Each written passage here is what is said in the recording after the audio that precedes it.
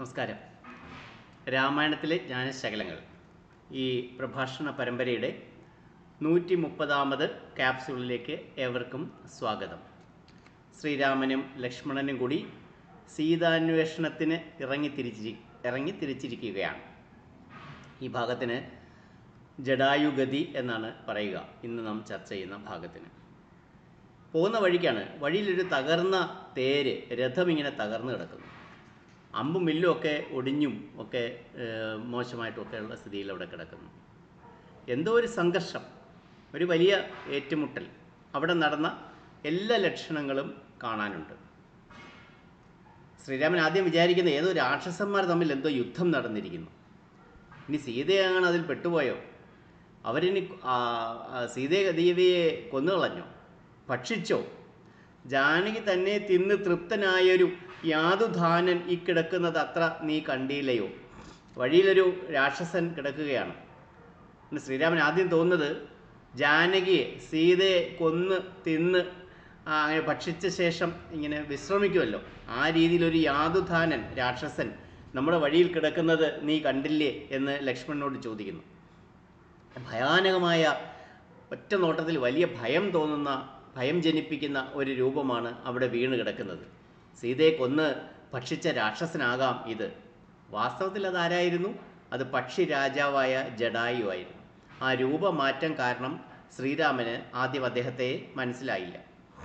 ഇതിനു മുമ്പ് കണ്ടിട്ടുണ്ട്. ശ്രീരാമനും ജഡായുവും ആദ്യമായിട്ടല്ല തമ്മിൽ കാണുന്നത്. ശ്രോതാക്കൾ ഓർക്കുന്നുണ്ടാകും. അഗസ്ത്യ ആശ്രമത്തിൽ നിന്ന് പഞ്ചവടിയിലേക്ക് വരുമ്പോഴാണ് ശ്രീരാമൻ ജഡായുവിനെ ആദ്യം കാണുന്നത്. അന്നും സംശയിച്ചു.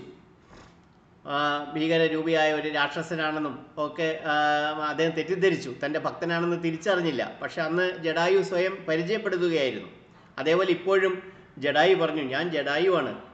അങ്ങയുടെ ഭക്തനായ ജഡായു. അങ്ങയുടെ അച്ഛൻ ദശരഥന്റെ സുഹൃത്തും സമപ്രായക്കാരനുമാണ് ഞാൻ. ശ്രീരാമൻ ആകെ വിഷമിച്ചു പോയി. ശ്രീരാമൻ ആ വിഷമം മറച്ചു വെച്ചതുമില്ല. ഇപ്പോഴും അങ്ങനെ തന്നെ സംഭവിക്കുകയാണ്. കൊല്ലാൻ ആയുധമെടുത്തു രാമൻ.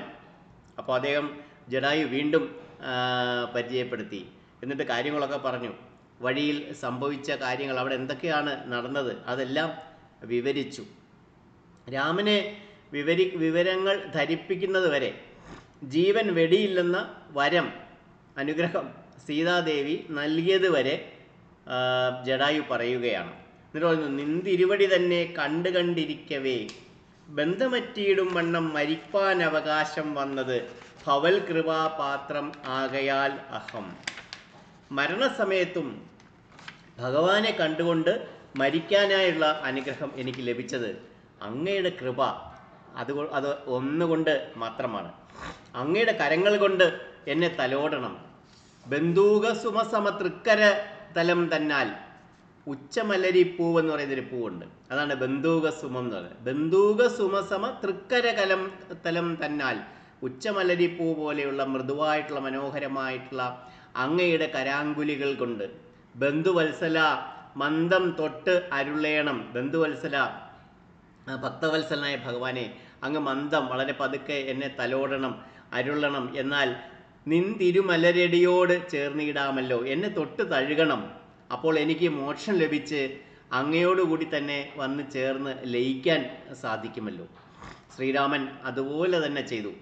ഇന്ദിരാപതി അത് കേട്ടുടൻ തലോടിനാൻ ശ്രീരാമൻ വളരെ സ്നേഹപൂർവം ജഡായുവിന്റെ ശരീരത്തിൽ ഇങ്ങനെ തലോടി തലോടി കൊടുത്തു. മന്ദമന്ദം പൂർണാത്മാനന്ദം വന്നിടും വണ്ണം. പതുക്കെ പതുക്കെ ആത്മാവിന് പൂർണമായ ആനന്ദം ലഭിക്കുന്നതിനായി പ്രാർത്ഥിച്ചുകൊണ്ടാണ് ശ്രീരാമൻ അങ്ങനെ ചെയ്യുന്ന. അങ്ങേറ്റത്തെ സ്നേഹത്തോടുകൂടി വാത്സല്യത്തോടുകൂടി ഭയഭക്തി ബഹുമാനത്തോടുകൂടി.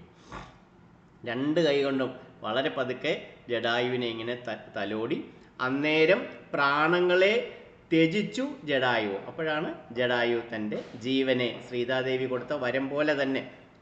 ആ വിവരങ്ങളെല്ലാം പക്ഷെ പോകുന്നതിന് മുമ്പ് ജഡായു ദേഹത്യാഗം ചെയ്യുന്നതിന് മുമ്പ് അദ്ദേഹത്തിന് അറിയുന്ന എല്ലാ വിവരങ്ങളും ശ്രീരാമനോട് പറഞ്ഞിട്ടാണ് ഈ ലോകത്ത് നിന്നും യാത്രയാകുന്നത്. എന്തൊക്കെ വിവരങ്ങളാണ് അദ്ദേഹം ശ്രീരാമനോട് പറയുന്നത് എന്ന് നമുക്കടുത്ത നൂറ്റി മുപ്പത്തി ഒന്നാമത്തെ കാണാം. അതുവരേക്കും നന്ദി നമസ്കാരം.